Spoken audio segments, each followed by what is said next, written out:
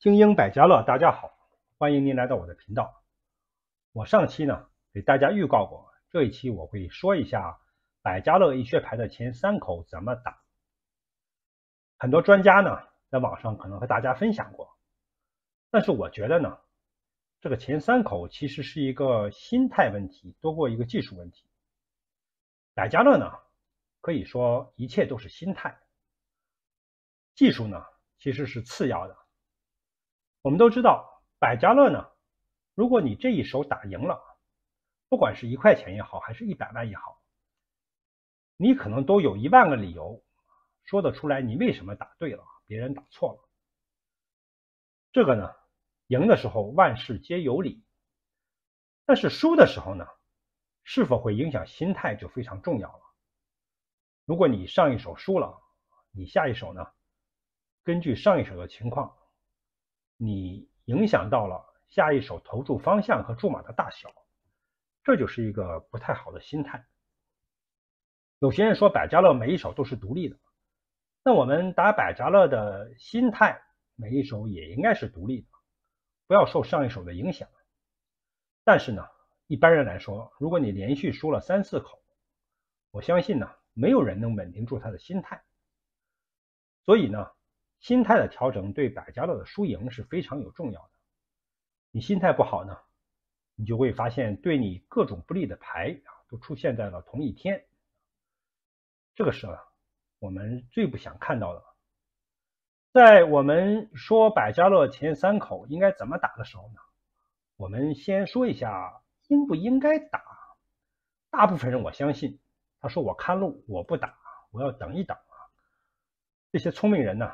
他想等一些傻的人去打，然后呢，他在旁边观察。但是我们都知道呢，百家乐这个游戏有时候聪明人反倒是不赚钱啊。我这样傻乎乎的打的人呢，啊，有时候还能多少赚一点。所以我的意见是要打，因为你来百家乐，我们打的时候呢，我们在旁边观察是赢不了钱的，你最多是不输钱。你要怕输钱，干脆不要来打。你要打呢，就要下手，下手呢才能赢钱。这本身呢就是一个赌啊。好了，我说一下为什么很多聪明人呢，在观察的时候赢不了钱啊。我们上面看到这样百家乐所谓的一个好路，有七八个庄。这个时候聪明人呢，在观察的时候他是不敢上车的，他觉得呢，呃，这么好的路，这么长的庄。我上车呢，会不会晚呢？他可能一直在等，有时候等了十几口、二十口，这个时候呢，他懊恼不已，心态肯定不好。即使他上了车，我也不敢相信，在这么长的时候呢，一个聪明的、谨慎的人啊，会下大注。即使他赢了几口呢，呃，他也觉得心态不好。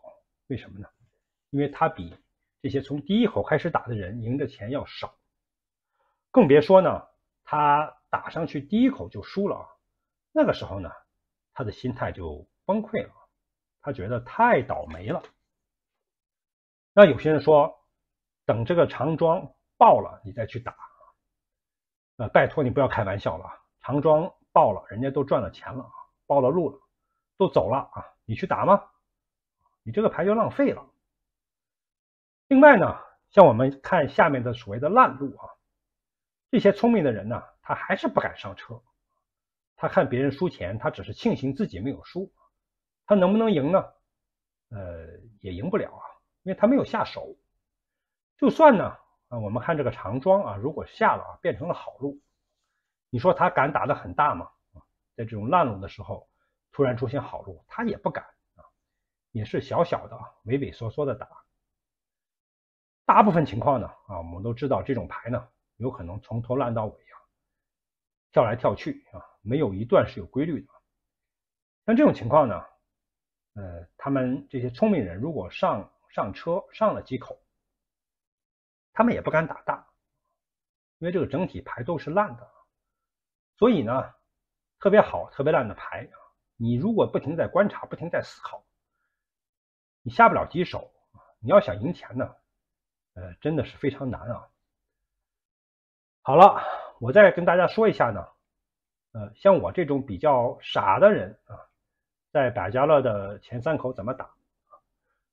首先，我们都要承认这个事实啊，呃，百家乐第一口就是一个纯迷信啊，不是庄就是闲啊。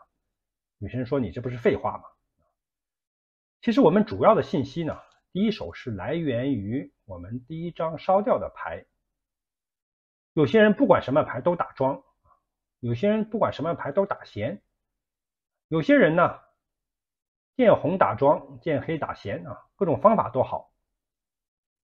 第一手呢，我们都知道错了的话呢，啊，我们承认这个随机性啊，我们基本不会受到我们打输之后的影响啊，打赢当然好啊，输了之后呢不会受到影响。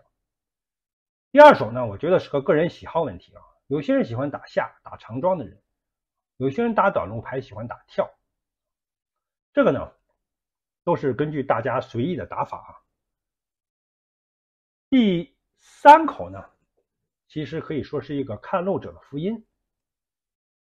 如果第一口是庄啊，第二口是庄啊，我相信大部分人第三口都会打庄。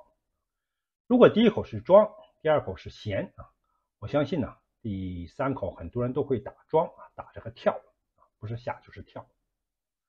所以呢，呃，我们想一下自己的打法和别人的打法，我们都必须要承认啊，我们这个前三口呢都存在这么一个问题：第一口迷信啊，第二口个人喜好，第三口是根据所谓的路来打了。下面呢，我就说一下我是怎么打的。根据前三口这个特性呢。啊，我们怎么打才不能伤害我们的心态啊？第一口我建议随机打啊，随便根据你的方法打。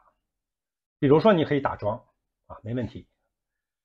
你打的时候呢，如果你是平注呢，你就下一倍的注码；如果你是大小注呢，啊，你打一倍、三倍的注码啊，一倍、四倍的，你就下一个大注。比如说三倍，这个时候呢。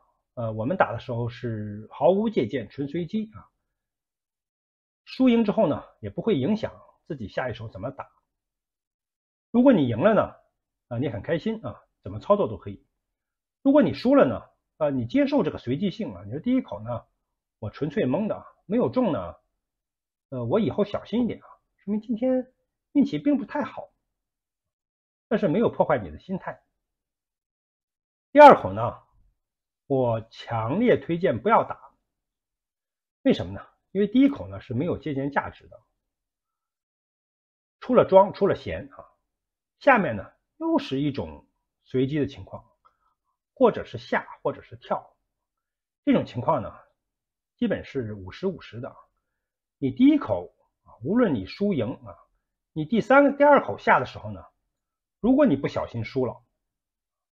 那么你一定会严重影响第三口的下注的方向和大小，因为我们第三口呢，呃，是看路者的福音啊，他们肯定会根据前两口的变化，如果是下打下，如果是跳打跳，而且呢，你可能会打的比较大啊，但是第三口一旦出现错误呢，呃，你可能把前两口赢的啊都抹平了。或者是呢，你前两口输了啊，你第三口打一个大的，想追回来呢，万一输了呢，这时候你连输三口，心态就崩溃了。所以第二口呢，我建议是最好不要打。那么第三口呢，我推荐打第一口出现的结果。如果是平注的话呢，啊，也就还是打这个一倍注码。如果是大小注呢，啊，我们记住啊，这时候一定要打小注，不要打大注。为什么呢？如果第一口赢了呢，啊，第二口不打。根据第二口出现的情况，我们打第三口。第三口如果赢了呢，那么我们巩固了胜利的成果，我们赢了四倍的注码。这个时候我们心态是好的啊，我们觉得我们现在是开门红啊，我赢了钱了，呃，我可以愿意打大打大啊，愿意慢慢打慢慢打，怎么做都怎么有理啊，赢了万事皆有理。但是如果第三口输了呢？那么我们前面第一口打的大的呢，我们还是有盈利的，所以我们也不要怕，心态也不会崩溃。如果第一第一口输了呢，那么第三口我们赢的话呢，多少减少点损失，我们觉得一输一赢啊，我还是这牌还是能跟得上我的，所以我们会跟自己说好，稳定点心态啊，我对这个牌呢还有机会。如果第一口打了三倍注码输了啊，第二口呢我们不打，第三口呢我们又输了，那我们这时候就会提醒自己说，这个路呢其实并不是说像我们所谓的好路啊，第一口蒙错了啊，第二口观察一下，第三口又错了，这个时候呢我们可能要说这个牌啊可能是烂路啊，我们可能要谨慎的小心。下一手呢，我相信大部分人啊不会盲目的去。用更大的筹码去追了。如果是第一口庄啊，我们打错了啊。第二口呢，呃，庄又下了啊。第三口我们又打庄啊，这个时候呢，呃，又错了啊，闲出来了。那我们就说了，这种情况呢，我们第四口啊，一定要小心谨慎。我们不会跳到更深的坑里去啊，我们可能会观察两口，观察三口，我们再下手啊。我们的心态呢？不会说像那些连输三手那样的人一样变得很差，对自己压住的方向和注码失去控制。这个呢，就是一个我们通过百家乐前三口培养我们心态的这么一个做法。所以我的结论就是呢，百家乐的前三口啊，不仅要打，而且呢，要通过我们前三口的打法来调整自己的心态。第一口随机打打大注，第二口不打，因为你如果你打错了，无论是发生什么情况，你都会严重影响自己的心态，造成自己打第三口的时候不理智，在第三口输掉之后，可能会造成心态的极大崩溃。那么第三口呢？啊，我建议打打小注，或者是巩固胜利的成果，即使输了呢？我们在第一口赢的情况下啊，还是保持盈利啊。但是我们在第一口输了，第三口又输的情况下呢，我们只输了两口，我们会提醒自己小心。如果你口口都打输了三口呢，啊，对心态又有很大的损害。好了，这期视频呢，我就给大家讲到这里。我们下期视频呢，我看一看，差不多可以上一些浏览器。把以前的一些打法再和大家用模拟器演示一下。欢迎喜欢我频道的朋友订阅、留言、点赞。我们下期再见。